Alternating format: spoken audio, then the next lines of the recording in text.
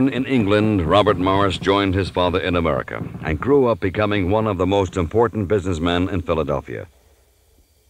Robert Morris was born in Liverpool, England in 1734. Following his mother's death, his father emigrated to America, leaving Robert to live with his grandmother, Murphet. Robert's father established himself as a successful tobacco importer and a few years later sent for his son to join him in America.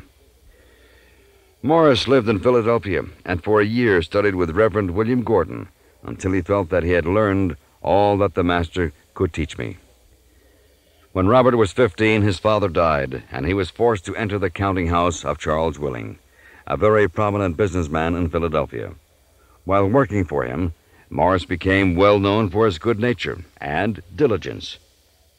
When Charles Willing died, his son Thomas took over the business. The firm was trading some with the West Indies, and Robert Morris requested that he be sent to the West Indies to enlarge the trade.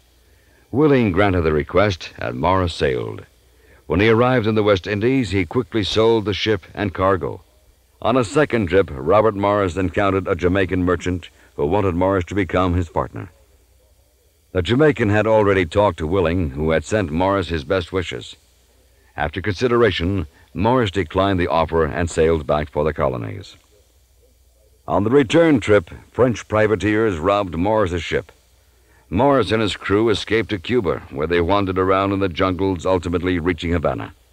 Stranded in Havana, Morris started repairing watches to earn a living until he was able to hitch a ride on an American vessel back to the colonies.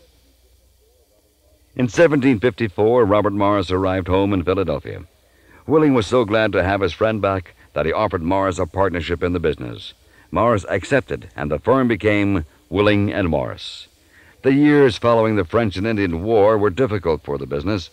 The British had passed the regulatory acts which forced all ships returning to the colonies to stop at a British port. The acts brought about an increase in smuggling. It was difficult competing with the smugglers, which caused some financial problems for Willing and Morris. In 1763, Willing was elected mayor of Philadelphia, leaving Morris to manage the firm largely by himself. He retained that position for over 20 years. In 1765, the Stamp Act was passed. In retaliation, a group of 100 merchants met at Davenport's Tavern in Philadelphia and signed a resolution to avoid importing any goods from England. Even though Morris knew non importation would be financially disastrous, he signed, convinced it was his patriotic duty. A few years later, Morris, who had become well known and influential in Philadelphia society, largely as a result of his wealth, married 19 year old Mary White. She was an excellent partner and hostess who entertained influential people, including Washington and Lafayette. The Morrises had two homes, one on Front Street and one on the hills overlooking the Schuylkill River. Although Morris did not vote for independence, he was active financing the revolution importing supplies, and organizing banking for the Congress. After Great Britain passed the Boston Port Act, closing Boston until the duty was paid on some water soaked tea that wound up in the Boston harbor, the Pennsylvania State House met with Morris's partner, Thomas Willing, presiding. They declared the Boston Port Act unconstitutional and encouraged all the colonies to take up the cause of the people of Boston. Willing called for a Continental Congress.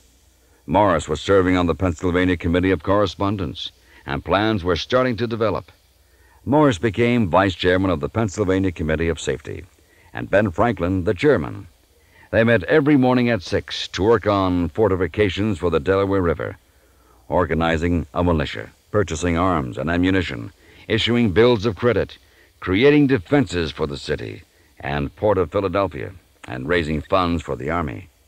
Franklin's leadership and Morris's business talents made the committee very successful.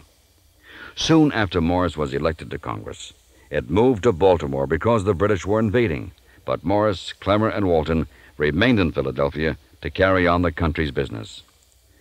Washington needed money to support his Christmas Eve crossing of the Delaware River. Later, Morris was walking down the street when he encountered a wealthy Quaker merchant who asked about the latest news in Congress. Morris replied, The most important news is that I require a certain sum in specie, and that you must let me have it. Your security is to be my note and my honor. The Quaker businessman replied, Robert, you shall have it. Morris raised vast sums to support the revolution because he had such a good reputation as a businessman. In November of 1775, Morris was elected by the Pennsylvania legislature to represent the colony in the Second Continental Congress. When he arrived, he was given the mission of finding two fast vessels to be used for dispatching. He located them and was quickly assigned to the Committee on Naval Armaments, to the Ways and Means Committee, and to the Committee to Fortify the Seaports. The firm of Willing and Morris contributed greatly to the war effort by importing supplies for the Army and by serving as the bank for Congress. Because Willing and Morris charged commissions for their service, some thought there was a conflict of interest, even though it was a fairly common practice. John Adams remarked, No doubt Morris pursues mercantile ends, and that he was an excellent member of our body, a man with an honest heart. When the vote was held in July of 1776, Morris voted against independence. Morris wrote about his feelings at the time in a letter to General Horatio Gates. The business of all America seems to be making constitutions. It is the fruits of certain premature independence which you know I always opposed. My option was founded on the evil consequence. I foresaw, and the present state of several of the colonies justifies my apprehensions. Dr. Benjamin Rush goes on to explain that Morris was opposed to the time, not the act, of the Declaration of Independence, but he yielded to no man in his exertions to support it. And a year after it took place, he publicly acknowledged on the floor of the Congress that he had been mistaken in his former opinion as to its time, and said that it would have been better for our country had it been declared sooner. Morris believed that it was the duty of every individual to act his part in whatever station his country may call him to, in hours of difficulty, danger, and distress, and so he signed the Declaration in August. In the desperate financial straits following the signing of the Declaration of Independence, Morris became financier of the Army. He raised the money which helped Washington to cross the Delaware and gave the British their first defeat. He served on the Commission of Commerce, Supplies, and Foreign Affairs, and acted as a banker and middleman for the country. Morris made high profits, and so was able to take risks to supply the Army. Morris became very popular with the people, earning his name as financier of the Revolution. Before the invasion of Philadelphia in 1777, Morris moved his family to Maryland to stay with his sister in law, Mrs. Hall. He wrote of the time, having got my family and books moved to a place of safety, my mind's more at ease, and my time is now given up to the public, although I have many thousand pounds worth of effects here without any prospect of saving them. Although Morris retired from Congress after he signed the Articles of Confederation, he continued to serve the people in the Pennsylvania state legislature and as the first superintendent of finance for the country. In March of 1778, Morris attended the Confederation Congress that adopted and signed the Articles of Confederation. He returned to Pennsylvania and became a member of the State Assembly in 1778. In January of 1779, Thomas Paine charged Robert Morris and Silas Deane with handling private commercial enterprises while serving in public office. The charge was largely ignored until Henry Laurens charged Willing and Morris with fraud. Morris opened the company's books to congressional investigation. A congressional committee reported that the firm acted with fidelity and integrity and an honorable zeal for the happiness of his country. Even though the firm was cleared, there had been considerable bad publicity, and Morris was defeated in the election of November of 1779. However, a year later, Morris was reelected to the Assembly. In 1780, when the American cause was almost defeated, Morris wrote, in 1779 or 1780, two of the most distressing years of the war, George Washington wrote to me a most alarming account of the prostrate condition of the military stores and enjoined my immediate exertions to supply the deficiencies. There were no musket cartridges but those in the men's boxes, and they were wet, of course. If attacked, a retreat or rout was inevitable. Morris and the Congress were somewhat successful in supplying the needed equipment. In 1780, the financier of the Revolution became the first superintendent of finance for the Confederation. His assignment was to take care of all American finances. Morris was paid an annual salary of $6,000. While serving as superintendent of finances, Morris contributed $1 million to the military campaign of Yorktown and one half million to put together an army. In May of 1781, Morris wrote, It seems that George Washington is now in the utmost necessity of some immediate supplies of flour, and I must either undertake to procure them, or the laws of necessity must be put in force, a threat to seize the provisions, which I shall ever study to avoid and prevent. I must also pledge myself to you, which I do most solemnly, as an officer of the public. But lest you should, like some others, believe more in private than a public credit, I hereby pledge myself to pay to you the cost and charges of this flour in hard money. In 1784, Morris resigned as superintendent of finances. Later, he returned to Congress to ratify the Constitution.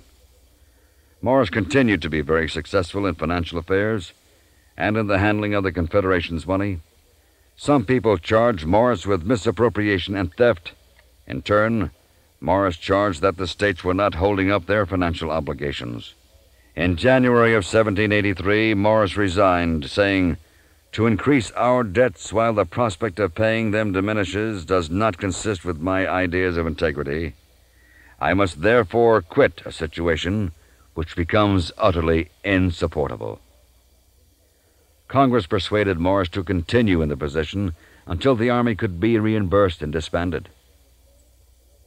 When John Adams obtained a loan from the Netherlands in 1784, Robert Morris was free to resign. Washington was one of the few people who realized how instrumental Morris was in keeping the new country financially solvent. In 1784, Robert Morris received the gold mounted sword for serving in the Continental Navy and on the Congressional Marine Committee. The descendants of John Paul Jones donated the sword, which Jones had received from Louis XVI.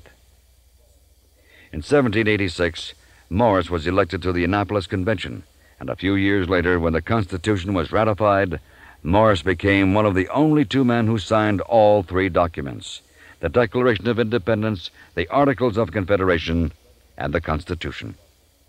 In 1789, George Washington offered Morris the office of Secretary of Treasury.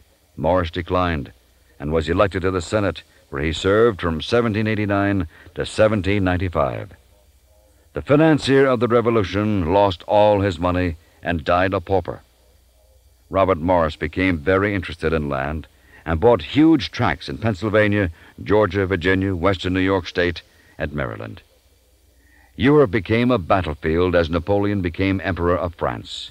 The flow of immigrants to America was nearly stopped.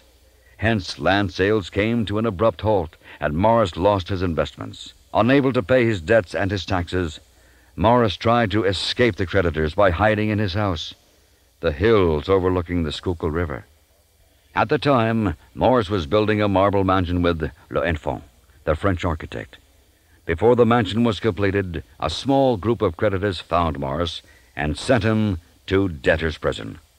The mansion, which was never completed, became known as Morris's Folly. While Morris was in prison, he found himself deeper in debt because he was charged for his room in prison. However, Washington visited and dined with him in prison. At the time, his wife was being maintained by an annuity that the governor had secured for her. In 1800, a new federal bankruptcy law was passed, which brought about Morris's release from prison.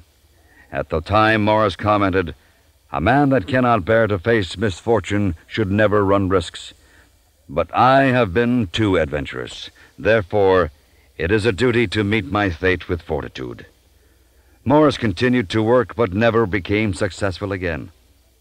So the greatest financier of the United States Revolutionary War lived modestly in a small house until he died at age 72. Morris's will was found in 1939, It had been buried with the wills of six other signers in a vault in the cellar of the Philadelphia City Hall. Found was a note to the inhabitants of the United States of America on the need for a sound economy. How soon we may be plunged into another, a longer, more expensive contest is only known to him for whom no secrets are hidden. But the only moral surety for peace is the state of constant preparation for hostilities.